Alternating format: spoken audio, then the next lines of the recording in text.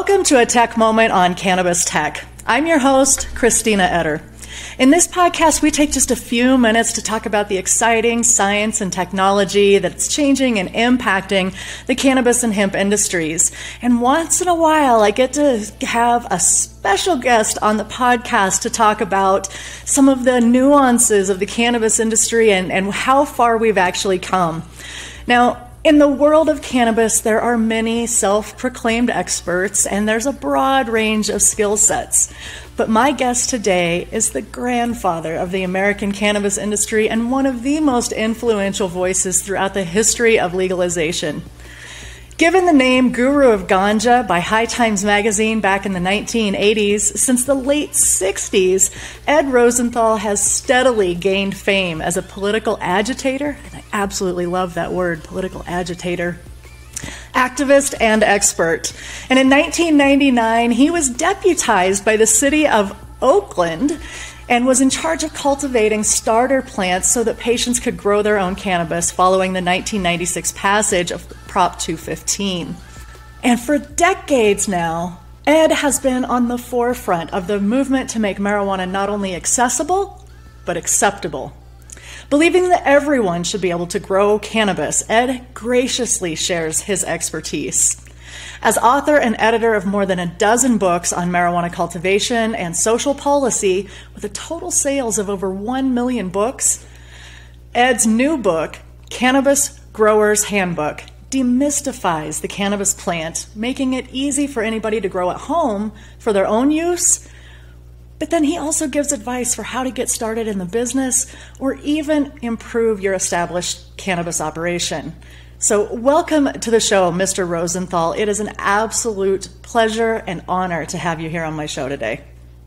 It's a pleasure to be with you.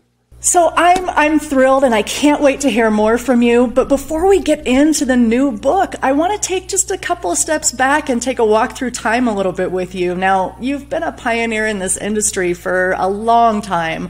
So I would love to kind of hear your perspective on what are some of the biggest changes really that you've seen over the years that's kind of helped legalization move forward and progress.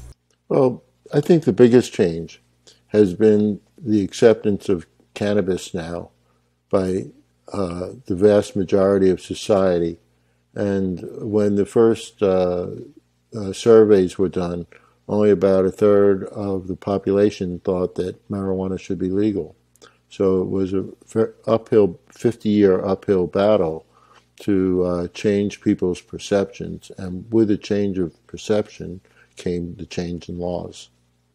So that, that that's I think that's the biggest thing that it went from being uh, anathema to society and uh, a gateway drug to being uh, uh a product that was considered essential during uh, the pandemic.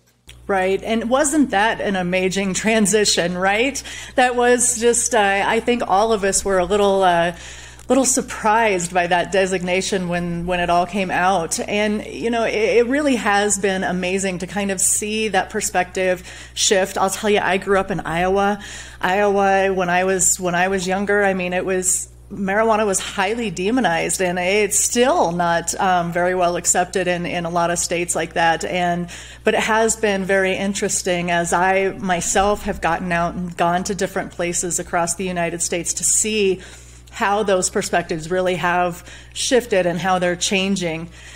I, am curious, what do you think some of the biggest influence have been to kind of stimulate that shift in perception in, in consumers and, and in the legal sense as well?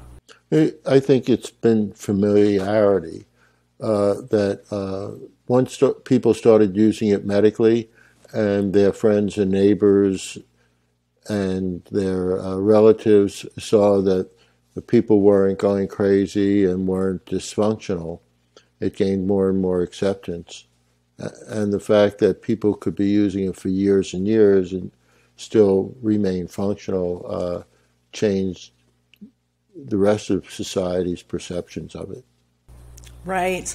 You know, and I think a lot of that comes from in recent years in particular, I think more people have been open to talking about the fact that they they do use cannabis or you know they may have this great uh, you know high profile corporate role but then when they admit to their friends that oh by the way i smoke cannabis on the weekends or at night instead of having a, a glass of wine or a beer or a mixed drink you know i think it's those kinds of perceptions really that uh, or th- those kinds of situations that help change those perceptions. I know at least that's what happened for me. I was I was a young naive kid in Iowa, and, and my company sent me out to San Francisco, and, and my mind was blown because uh, you know I I had grown up believing that you couldn't be both. You couldn't be a productive um, citizen and smoke cannabis. And then when I went to San Francisco, I saw absolutely that that's not what it was. And so that's really what kind of helped open my eyes. And I'm I'm hoping now that as cannabis legalization is spreading across the nation, that you're right that other people are starting to see that these very well respected members in their communities do use cannabis. And uh, perhaps the richest man in the world, Musk, he, you know, Elon Musk, he's either the first or second richest person in the world, and he smoked it on a uh, podcast. So uh, obviously, it didn't it didn't uh, affect his success in life in terms of uh, uh, being able to earn a living. Right, and hopefully, there's a lot more of us that are able to. Um, portray that image as well. You know, now that the, the veil is kind of lifting and, and it's not so taboo anymore to talk about cannabis. Now, you have been writing about cannabis for decades, and, and you know, I got to tell you, I actually have I have my husband's copy of High Times from 1984, and uh, one of your columns is in here, so it was fun for me to go back and, and read through this. And I found it interesting too. What a what a coinky dink that uh, this is this tech or this magazine was about tech. And since we're a tech publication, I would absolutely love to hear your thoughts from you know back in 1984 and before. You know, tech really has kind of helped, I think, change and evolve the cannabis industry. So I'd love to hear your perspective on these changes and, and is technology for better or for worse in cannabis these days? Uh, well, there's been a, a major change in uh, technology in uh, the world over the past uh, 30 years. Uh, as an example, people, when people first started growing indoors, they were using fluorescent lights. And then it went to uh, the HID lights, such as metal halides and high pressure sodium lamps. And now people are using LEDs. And that's a tremendous cost saving in terms of energy because more of the light that's produced by LEDs is used by the plants uh, than uh, HID lights. So that's one example of it. And also, uh, people are more concerned about uh, botanical issues like uh, vapor pressure deficit, which wasn't even in the vocabulary 30 years ago. And a lot of this has to do with the change in technology in, in agriculture in general, but a lot of it is people going from a hobby to a, more of a business model and having more training. So it's a combination of that the that agriculture itself has advanced, and then people becoming more familiar with it. And that's both indoors and outdoors. Right.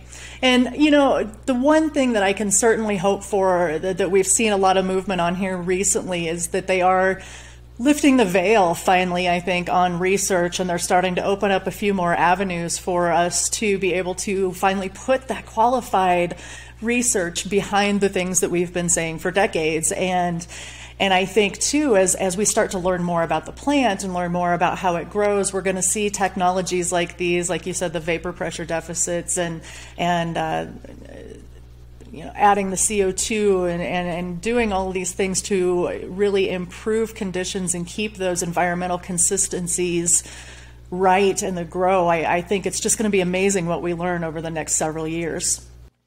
Well, certainly we're going to learn more about uh, using light even more efficiently than we're using it now, and different methods of growing plant, uh, bigger, better plants sooner and uh, and quicker.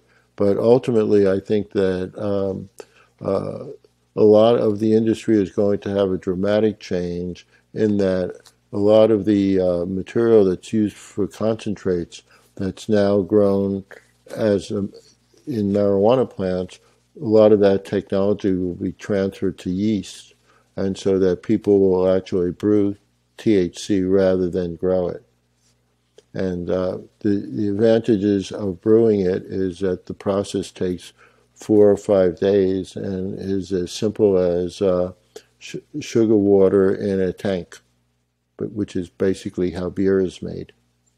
And then, then that would will be refined, and so that you would you'll be able to get specific uh, uh, specific cannabinoids or specific terpenes, and then combine them in different recipes. And so that I think that's going to that's going to be be at least as far as concentrates and extractions go, that's going to leave uh, agriculture behind. Right. Now I, am curious since you since you bring that up, I would love to hear your perspective on that as as a pioneer in the industry that, that fought so hard for legalization and for the ability to grow cannabis. What is your perspective on things like biosynthesized cannabinoids and, and some of these things that we're seeing start to enter the market today? So uh, there are a lot of different ways of looking at it, but uh, you know, science in itself uh, isn't the issue. The issue is policy. So let's say uh, let's say that uh, a yeast was developed that produced uh, a particular THC, let's say delta nine. Now, if that yeast was available to the public, then anybody could brew it. However, if it was held e- either in a proprietary some proprietary method or some uh, uh, proprietary schedule or else illegal kept illegal, then uh, that would uh, that that's a policy decision rather than a scientific one. But it would certainly be easier for the average person to, to brew a uh, to brew some THC rather than to grow it. To grow it, you need lights and electricity and uh, you know, t- specific temperatures and humidity. And to brew it, you ba- basically have water, yeast uh, in a st- uh, in a sterile solution, yeast in a sterile water solution, and then four or five days later, you would be able to uh, refine it in, in, some way. And and I'm sure those techniques will will be uh, re- re- refined as well. And so uh, that would be much easier for the average uh, user than uh, setting up a light system or growing it in the backyard. And it would certainly be much faster. Now, let's say the uh, as a consumer you had a choice of di- different terpenes and different cannabinoids, and you could make your own recipe of uh, your own THC or cannabinoid recipe uh, using um, uh, different yeasts that have that, uh, that, uh, that, that produce different THCs or different terpenes. So I, I think that's a bright future. It yeah yeah people will go from growers to brewers. Yeah, that's fascinating science, right? Interesting. So interesting. It's just going to be uh, you know, the next several years in the cannabis industry, I think, is is going to be fascinating to see how everything kind of evolves. Now, one of the things that I wanted to ask you about was that in this particular magazine um, that my husband had, there you had a column in there, your Ask Ed column, and you discuss the differences between indica and sativa as we knew it back in 1984. And at that time, you felt like the market was very indica driven and that many commercial sativas really didn't have much of a positive outlook. I'm curious now, fast forward, you know, 30 some years, what's your perspective on the market today in terms of, of cannabis products and those variances in, in the different cultivars? there's been a change in how people uh, how people grow and uh, what they can grow. So in uh, in uh, the southern tier of the United States, Southern California, Arizona, New Mexico, Texas, going down to Florida, sativas are an excellent choice because uh, when grown outdoors, with the short days, they'll they'll uh, come in and flower. So I think that that the limitations of growing uh, illegally uh, are no longer uh, part of the culture. So we have more of a choice of what to grow, and a lot of it depends on the area that you're in. If if you were to try to grow some indicas down south, they'd immediately start to flower as soon as they germinated, because of the short days, and so uh, uh, sativas or sativa hybrids will do better in uh, in the southern tier of the of the U.S. On the other hand, um, if you try to grow sativas in in the northern climes, uh, they uh, they'd be frozen before they uh, before they were ripe and mature.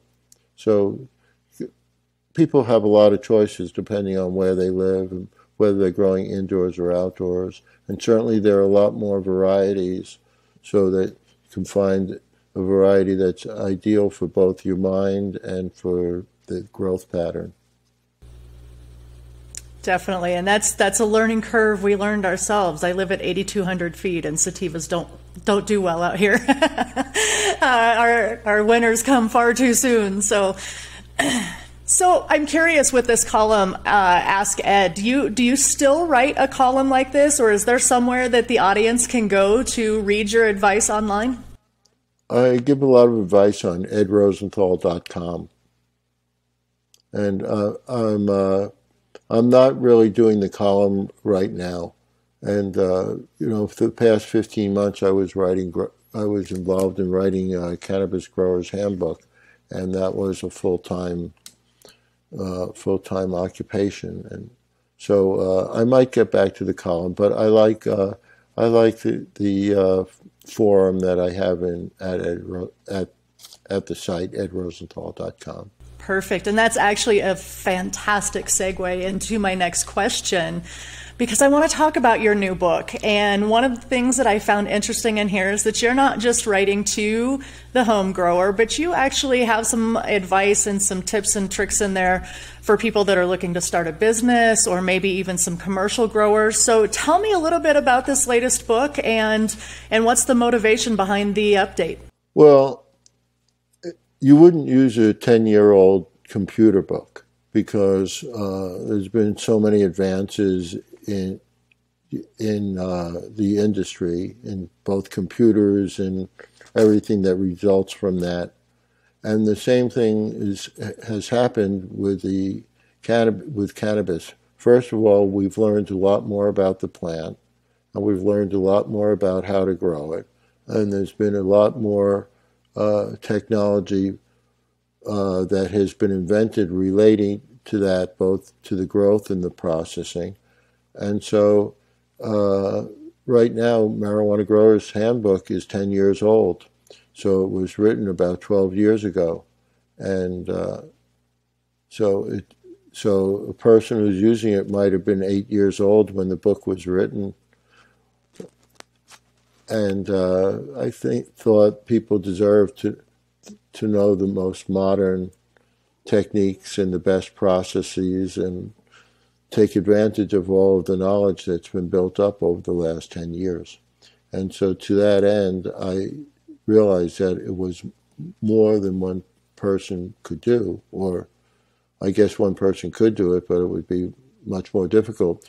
And I engaged uh, Rob, Dr. Rob Flannery, who has a degree, PhD in plant biology, and who ha- has Dr. Rob Farms, which is a marijuana growing facility, and uh, my old associate, my associate from the first book, Ange- uh, Angela Bacca, who has a uh, has been in the writing about cannabis and been involved in the cannabis industry for the last 12 years. And so the three of us uh, collaborated on this book with uh, different um, uh, teachers, professors, uh, PhDs, as well as uh, people in the industry to put this book together. And so it was a great collaboration. There were dozens of uh, not co-authors but contributors that were involved in this, and we think that it's a really comprehensive book. So we hope that the goal of the book is to help people grow the best marijuana the easiest possible way, and we think that we will be helping a lot of people to do that. Most definitely. I just heard that uh, I, I just did an interview a couple of days ago that Virginia now is going to start to allow personal cultivation while they ramp up their adult use uh, laws and whatnot. How important do you feel that it is that consumers are able to grow their own cannabis? And do you feel like home grows have any impact on the cannabis market, the commercial cannabis market at all? Well, there in so many ways because uh, uh, well, let's just take the tomato industry. You know that there are multinational corporations grow, who are involved in that industry, and big farmers and small farmers, and it gets down to neighbor to neighbor exchanges for, over tomatoes.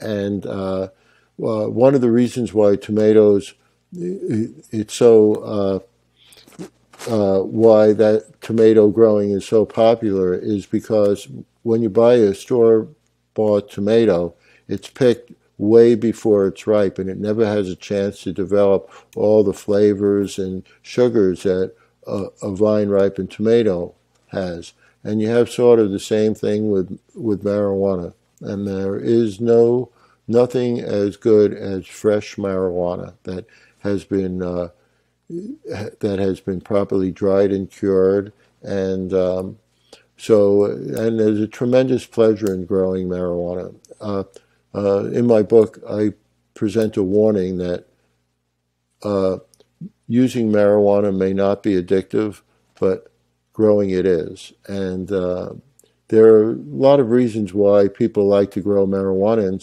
why some people continue growing marijuana even after they stop using it. And some of those are that, uh, unlike tomatoes, which have, for instance, which have a different trajectory where they start growing and then they start growing fruit and they continue to grow and to grow fruit. A cannabis plant has distinct stages of life, sort of like mammals and, and humans, that it has a growth stage, it has a germination stage, a growth stage, and then it goes into maturity and flowering and reproductive stage, and that's and then it's an annual plant and it dies after reproducing. And that's sort of like the human trajectory.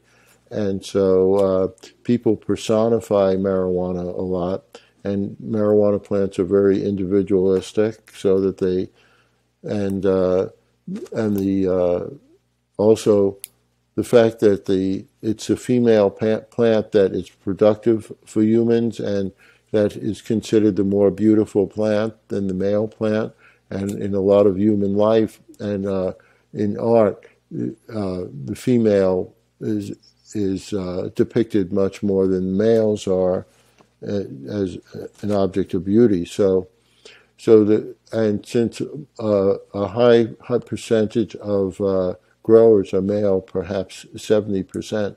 So there's that sort of sexual thing in there as well as life trajectory and the fact that each plant is individualistic. And uh, you get uh, people who get really into that, just like that other people who get into growing giant pumpkins.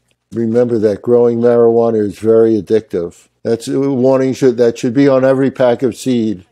Yeah, yeah, no, I love that, and you know, it, it, out here it's um, you often hear people that are that are growing their own. They they often refer to them as the girls or you know they they always you're right they personify their plants and they they absolutely give them personality and and it's it's definitely a um, you're right it's fun. It, it's fun to grow them and it's definitely a, a nice hobby and I can absolutely see where people would become addicted to growing but one of the things that I want to touch on is that your book isn't just for the home grower, though. You do touch on some more of the entre- entrepreneurial side of the cannabis industry. So I'm just curious can you tell us what someone might expect if they want to pick up this book and, and learn more about getting involved in the cannabis industry? Well, first, first of all, the book assumes that you know nothing about plants and nothing about growing plants and nothing about marijuana. And so it starts, uh, the book starts off by describing cannabis and uh, its growth patterns and then goes into how to grow it. And the conditions that a plant needs are the same whether it's being grown commercially or as a hobby. The plant itself needs the same conditions. What's different is how those conditions are provided. And so uh, we try to go eh, start with the simplest methods of, of a particular technique and then uh, from that simplicity develop a little bit more complexity. And people can drop off wherever they, they want and still and grow a great crop, or they could go more deeply into it if they wish, and they'll uh, and they'll have mat- material that will be of interest to the commercial grower. But whether you're growing a single plant or acres, those plants need the same conditions. So that's that's the basis of the book. It's about how to provide those conditions for the plant. Fantastic, yeah. And I, I, can tell you from experience too that sometimes, you know, when you're when you're just learning, a lot of that stuff's kind of trial and error. So I, I can absolutely see where having a book like yours to, you know, kind of guide you through some of those things that, that can happen when you're first learning how to grow cannabis would be extraordinarily valuable. Um, now, our audience, most of our audience anyway, is, you know, fairly invested in the industry. They're pretty involved. I'm just curious, you've been involved in this for a long time. What do you see in your crystal ball? What do you think the future holds for the cannabis industry, say in 10 years, 15 years? Well, cannabis is a very unique plant and it has a very unique chemistry. And first of all, I think that a lot of the cannabis chemistry will be used in medicine and uh, in different ways, ways that we're not even aware of. And for instance, right as we're speaking, there's a conference going on called the International Canna- Cannabinoid Research Society, and they're having their annual convention. It's virtual this year, but in there, that it's mostly PhDs who are talking about um, cannabis chemistry and its interaction with humans. And I think as we learn more about that, more and more uh, different parts uh, or different cannabinoids will be used in medically. And then, as far as recreation goes, uh, I see two things happening. One is that uh, uh, people will develop more uh, different combinations of cannabinoids and terpenes that will provide different, more specific effects. So you might have some that are recreational and, you know, it's just for hanging out or lazing around or thinking or socializing. And then some uh, will be uh, for specific things like going to sleep uh, you know, and sleep is a big issue. So uh, I think that some of the chemistry will will find that some of the chemistry is really advantageous for uh, helping people sleep and uh, regulate their uh, circadian rhythm. So I th- I see a bright future for it, and and I see it both. It, I see it developing more like the tomato model than people would think because we're going to have both uh, very uh, scientific production. For instance, we have scientific production of tomatoes, and still more people grow tomatoes, uh, more uh, consumers and uh, hobbyists grow tomatoes than all the commercial tomatoes in the U.S. So home growers are growing more tomatoes than commercial growers. And I think ultimately we're going to see a lot of that, uh, more of that, um, especially since um, tomato, to, since uh, uh, marijuana has a high value, that that might be the most productive crop a hobbyist could grow. Right. Yeah, it's definitely proving to be a pretty lucrative crop, especially in terms of of agriculture and, and agricultural uh, markets, it's definitely you know the the top ring in terms of, of being so lucrative. But if someone is kind of sitting on the fence right now and, and maybe they're thinking about growing their own or maybe they're looking for a new career path and they're wanting to get involved in the cannabis industry, what's your advice for somebody that that's kind of on the outside looking in right now and, and just kind of curious? Well, it depends on the legality. So uh, in California, it's pretty much legal to grow, especially indoors. Um, we have a county by county fractionalization so that some counties don't allow legal cultivation. I mean, uh, outdoor cultivation. But if you're in California, there's not a repercussion for growing. But in some states uh, where it's illegal, people have to take into account are they if if they uh, should uh, interact with the law what what's what's the um, uh, re, uh, the uh, danger reward ratio there? So you know risk reward ratio in growing. But let's say you um, there wasn't a a legal reason not to grow, then I'd highly advise people to get uh, go into it as long as they have the realization that growing is very addictive. That once you grow, there are so many people that I know that can't be without growing plants.